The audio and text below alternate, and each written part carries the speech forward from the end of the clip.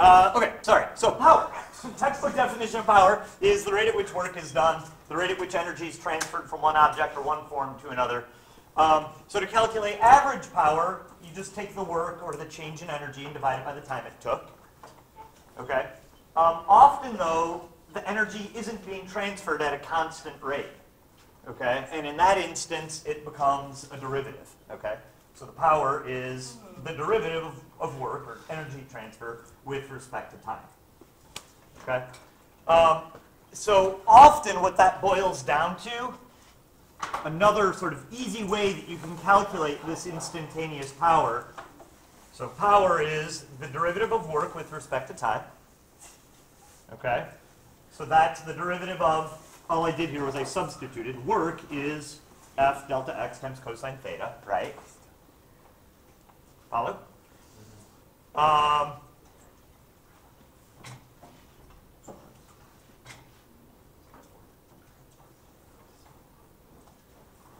go, brain, process. Um, I'm trying to remember how I how I had a way that I was going to explain this little uh, calculus step here to you guys, and I'm trying to remember now what my process was. Right. Um, Yeah, delta x is dx. Oh, right. Thank you. Thank you. That's embarrassing that I didn't. Yeah. Delta x is dx. Thank you. Thank you. Yeah. So then you get f cosine theta dx over t. Notice dx dt is just velocity, right? Cool. So you got f times cosine theta times velocity. Is it because, is it because like we usually, like theta usually isn't a variable, we usually know that, so it's just like a constant, so that way we don't factor it into the derivative? Yes. Yes. Okay. Yeah, and you're right. If the angle here, that's oh, 100% true. If the angle here was changing, then this would get ugly. Yeah. Oh, gotcha. Yeah, you don't need to. All right. Okay, everybody cool with this? All right, so, um, cool. So let's do a couple examples here. All right, uh, so this first example is easy uh, mathematically, but I want to make sure you guys understand what we're finding here. All right, so it says Roy lifts a 20 kilogram box up three meters in four seconds. How much power was used? So the idea is the box starts out on the ground, and then we're going to lift it up three meters. All right, so power is work divided by time. To be clear, really, there's only enough information here to calculate the average power. Right?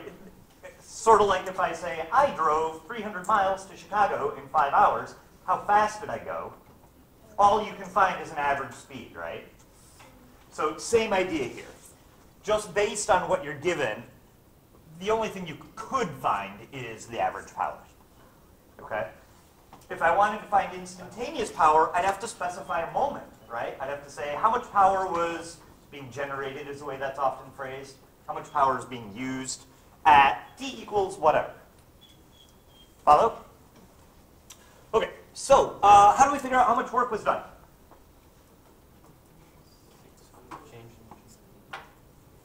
Yeah, the only energy change here is GPE, right? We're gaining GPE because we're lifting a box, right? So find your change in GPE and divide it by the time. Does that make sense, you guys? So that's going to be M. Uh, sorry, I guess I should put units on this. So our mass is 20 kilograms. G is 9.8 meters a second squared. H is 3 meters. Time is 4 seconds. So on top up there, you're going to get 588 joules.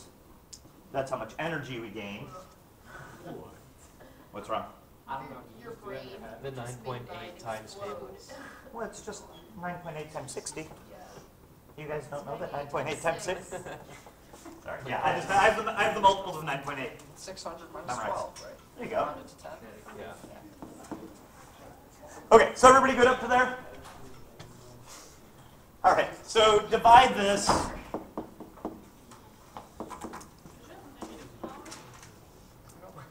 Oh, good. Uh, whoever just asked that, could you have negative power? Absolutely. That would just mean instead of gaining energy every second, you're losing energy every second. I thought, I thought the, I thought the work side would be negative six hundred because work is negative change in potential energy. So I guess technically it depends on, wait, say that again? Uh, is work the negative change in potential? So it depends on what work you're talking about. So, so here, and the problem is not super specific about it. It says how much power was used. What do you think that means? How much power was used by Roy or gravity? When I wrote the problem, I meant Roy, and I thought that was implicit in the statement. Okay? So I agree. The work, the power for gravity would be negative. Right? Oh, on there. Do you see what I'm saying? Yeah. All right. So maybe I'm being a little bit too uh, hand wavy at this. Um, let me do this.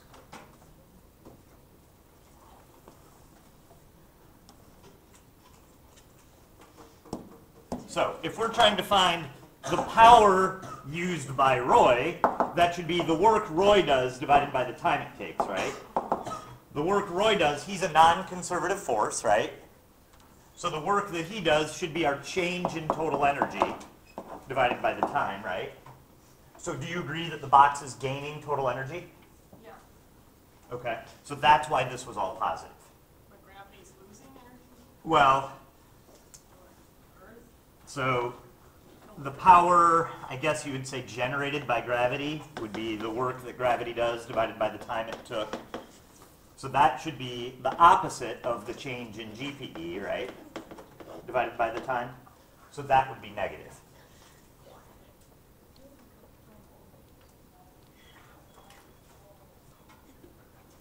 And so that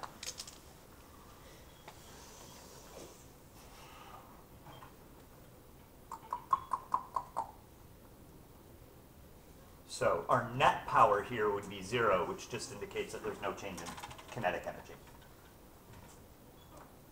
okay, Does that make a little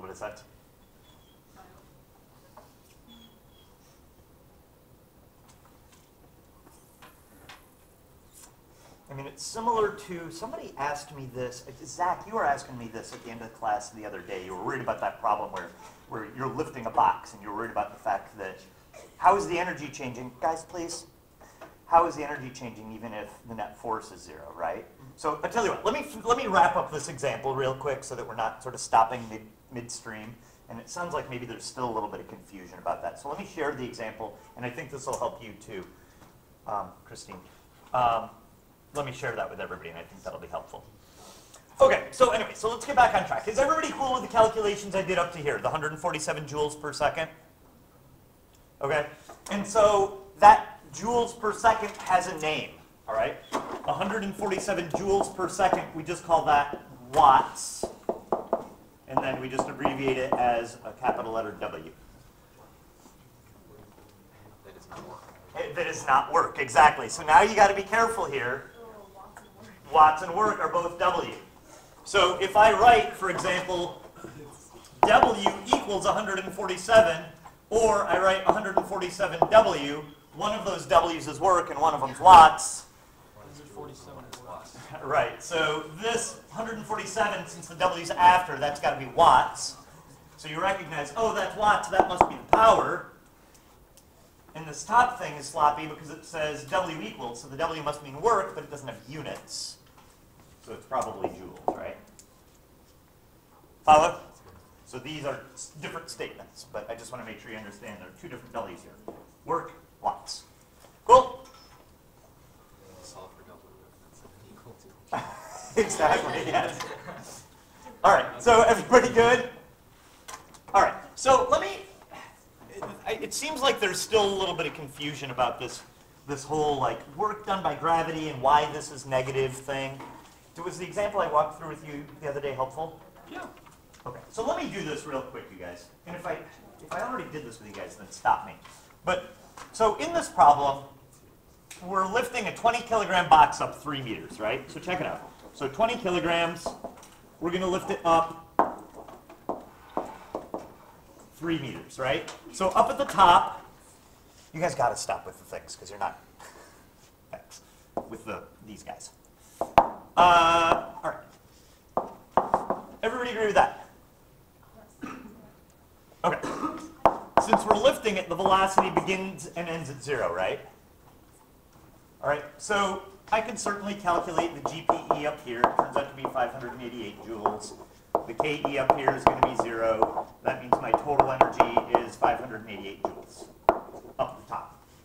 Is everybody good with that? All right, down here at the bottom, the GPE is zero.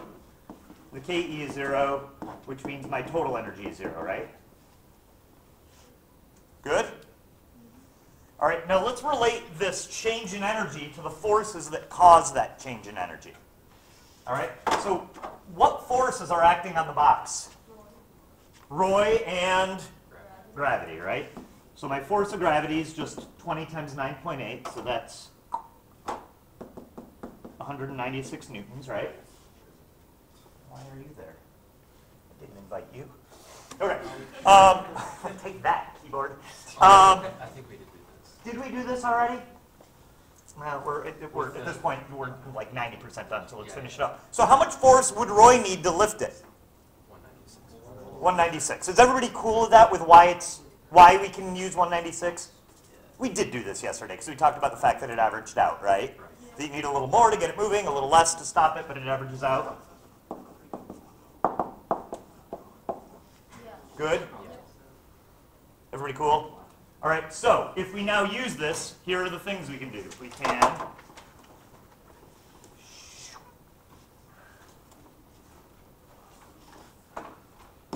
let's calculate the work done by Roy. Well, that should be the force of Roy times the distance, 588 joules. That's my change in total energy, right? Roy did work, and he changed the total energy. Cool? All right, let's calculate the work done by gravity.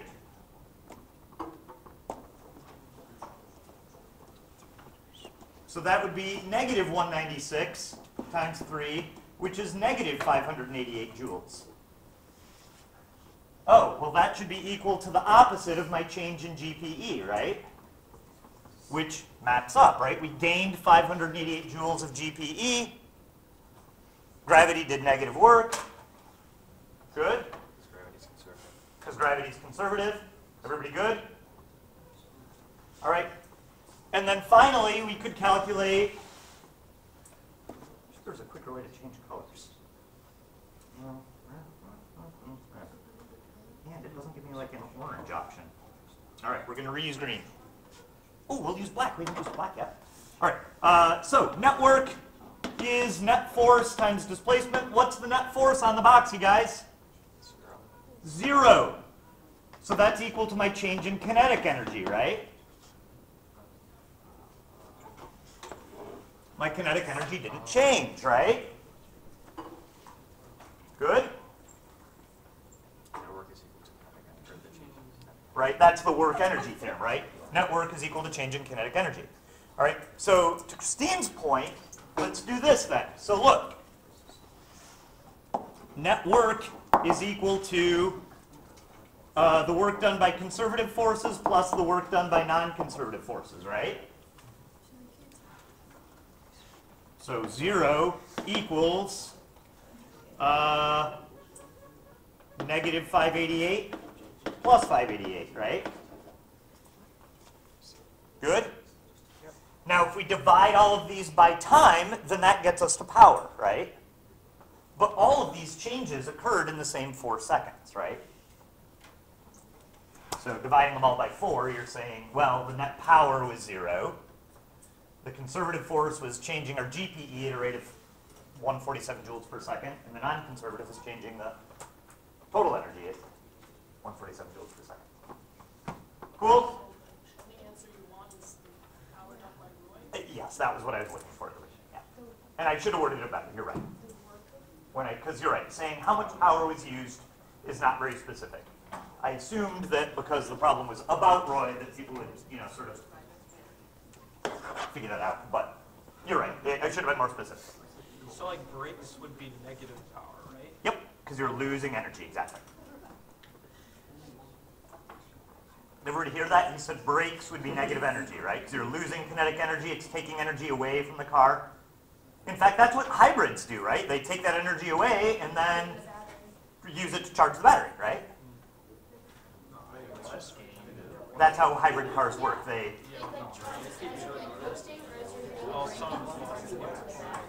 yeah. So the, I don't know exactly the mechanics behind it, but somehow it takes the rotational kinetic energy of the tires and generates power for the battery. Okay,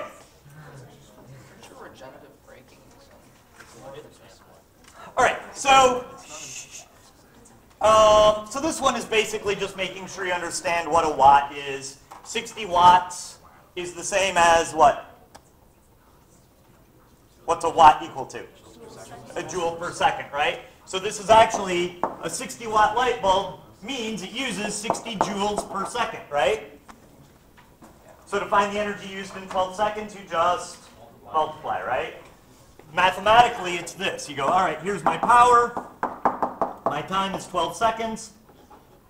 If power is work over time, then work is power times time. 60 times 12 gives you whatever, 720.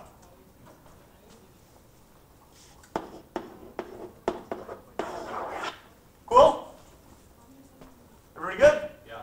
All right, next example. This one's actually like new. All right. What's up? I was talking to Zach.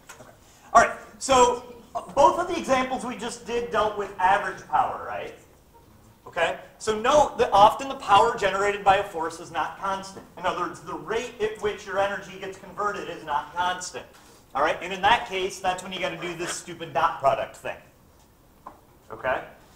So in this one, it says Roy pushes a 30 kilogram box across a frictionless surface with a horizontal force of 120 newtons for five seconds.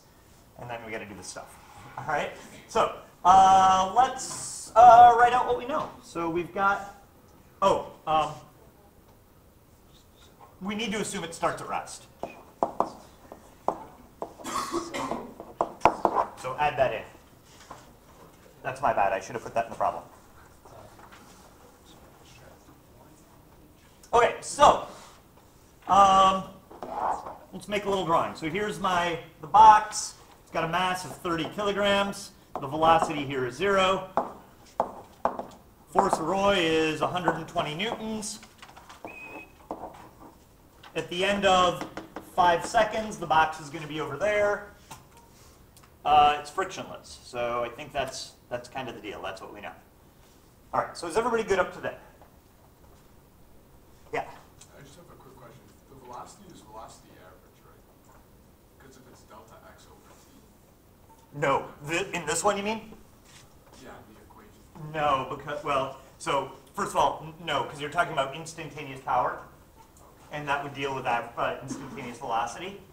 Mathematically, it's because to derive that equation, the v came from dx dt. So we are taking the slope of the position time graph at one instant. Follow? Cool. Everybody good? Thank you for asking that good question. I think I sort of glossed over this here. All right. Um, okay, so we got to use a little bit of Newton's laws and kinematics here uh, to find our velocity over here, right? Because, so to find the power, we need to somehow find the work done between these two points, right? So there's two ways you can do that. You can find this displacement and then do force times displacement, or you can find the change in kinetic energy, which would require you to know the velocity here. Does that make sense? All right. So which way is better? Uh, kind of six to one. You know, I don't know that it really matters there. You want to go kinetic energy? Okay. What were the two options? So we're trying to find the average power. So P average is uh, the work that Roy does divided by the time it takes, right? So to find the work that Roy does, two options. We can figure out the force that Roy exerts and multiply it by the displacement. We know Roy's force, but we don't know the displacement. Follow? Or we can do the work that Roy does is our change in total energy. For this problem, that's just a change in kinetic energy, right? So we either need to find the displacement or this final velocity so we can find that kinetic energy. Does that make sense? Everybody on board with that? Yeah? I'm just wondering how the force is constant. Uh, the force, okay, so I was, so Josh just said, I'm just wondering how the force isn't constant. And you're right, the force is constant. But the power generated by the force is not. Because the velocity isn't constant. And so the rate at which the energy gets converted is changing because the velocity is changing. So Right? Because you're, you're going to go through displacement at a quicker rate. Right? As you speed up, this displacement is going to change faster. It's I know, yeah, it is weird. Sorry? It's instantaneous though, right? Uh, your instantaneous power is not constant, correct? All right, so are we all good? So much for having time to work. I apologize. Um, okay, so everybody on board up to here. All right, so I think we've all agreed that it's going to be easier to go this second route, yes? Okay, so. Um, let's see. So to find that final, well, you guys tell me, how can I find that final velocity? Sure, give me a start, Peter. Uh, you can divide the force by the mass to get the acceleration, and then multiply that by the five seconds. Everybody agree with that? Find the acceleration. And then you can do this guy, VF equals VI plus AT. To get 20 meters a second.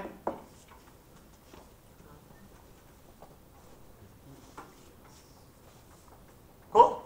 Yep. Which is mv squared. All right, so I said so. There we go.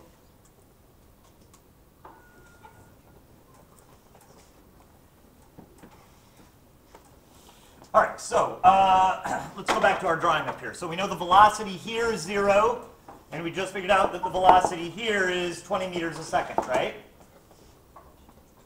Good?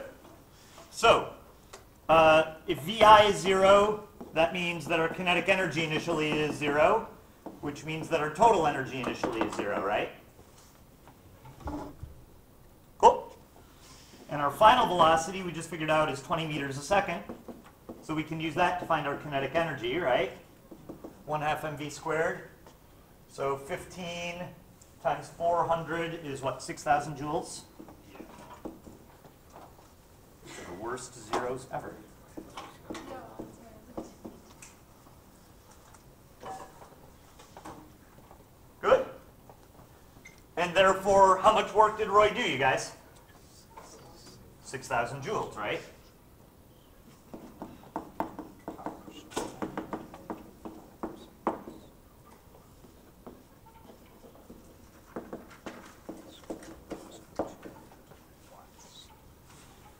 Good? So the power that Roy used or generated, however you want to say that, is 6,000 joules over, what was, is the time four or five seconds? Five seconds. Five seconds. So you get 1,200 joules per second or just simply 1,200 watts. Now, technically speaking, that's average, right? It's the average. Because during those five seconds, the energy changed by 6,000. Does that mean that the box literally gains 1,200 joules every second? No, it's just the average. Just like going 300 miles in five hours doesn't mean you literally went 60 miles every hour. Same exact idea. Yes. So, sorry I keep going back. You're But fine. If this is a spring instead of like Roy, and because the force isn't constant, you can still do this, right? Because it's the force of one instant, right? Correct. Oh, wait. Uh, ooh. Because it's like x squared. When you say this, if this was a spring, then you could still do this, where you find the change in kinetic energy. Yeah. But you could not use the force, because the force is changing, so you couldn't do Oh, force can't times do displacement. Okay. So the, The so right?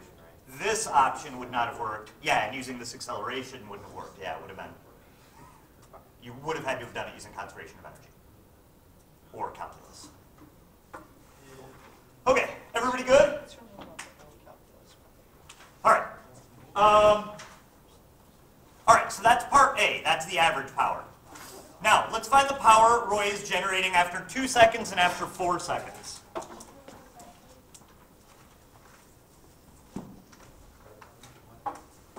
Okay. So for part B, to find the power after two seconds, I'm looking for instantaneous power, right? So the power, I'm just going to put a little in parentheses at two seconds, sort of make up my own notation here, is force dot velocity times the cosine of theta. But which direction is push point for me, guys? Which way is Roy pushing? Forward. Which way is it moving? So what's theta? Zero, right? So this just amounts to force times velocity. Cool? So we need to know the velocity after two seconds. Well, our initial velocity was zero. Our acceleration was four or five? Four. Four times two, so you get eight meters a second, right?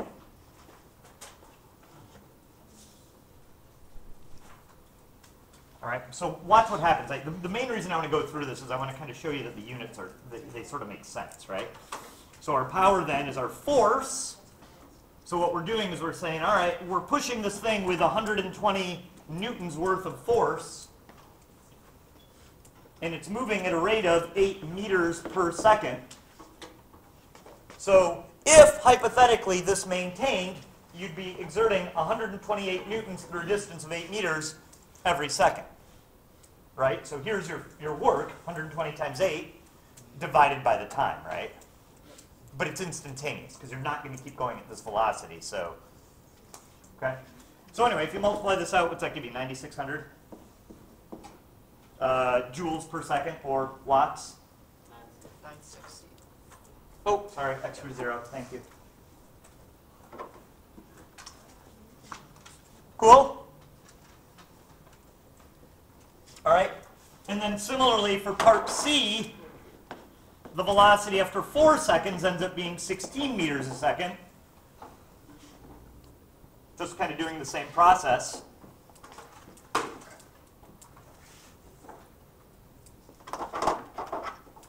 Wow, are seriously? Just doesn't want to leave. Loves to do more.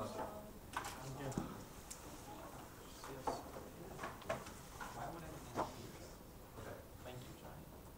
I don't know, there was a good job. Oh, I'm not very smart. You want to look back at me again?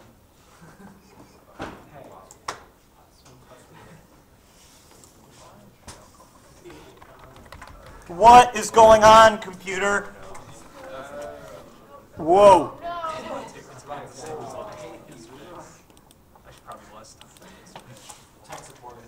Yeah, there we go.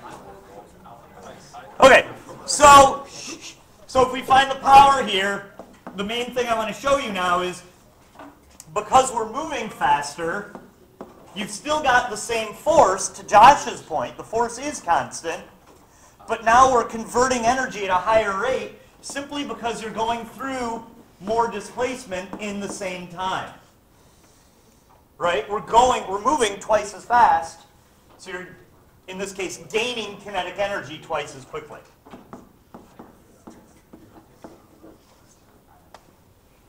Does that make sense? All right. Um, and then finally, D, why is the power increasing? So why is the power increasing?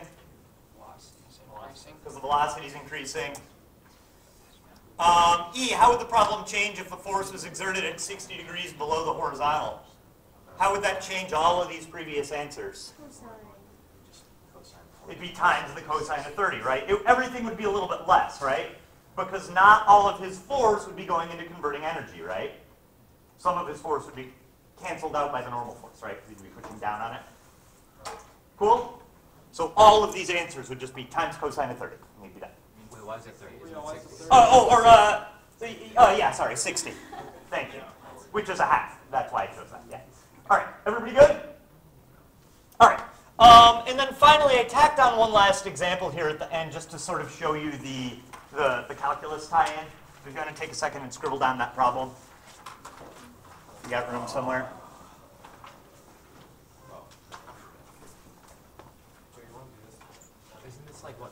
Question 25 already answered? It may have been, yeah.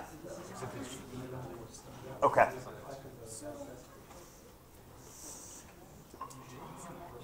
All right, so what we've got here, you guys, is this. We've got an expression for kinetic energy as a function of time, right?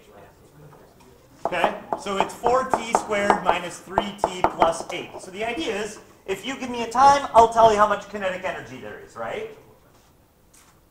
Okay? So, if I wanted to find the average power between two points, I'd find the kinetic energy at the first point, kinetic energy at the second point, find the difference, and then divide by the time, right? Correct. Okay? But here we want the average, or the instantaneous power, because it says at t equals 2 seconds, right? So power is the rate at which work is being done. Right? Okay, so let's see. It looks like the only, ch- it's moving on a horizontal axis, so there's no p- potential energy that we need to worry about, right? I guess there could be a spring, but let's assume not. Um, so the only change in energy here is kinetic energy, right? So this is, this is going to be a little redundant, but, right? So you don't really need the delta there, right? Right, because this is change changing, changing. Yep. Right? So I just want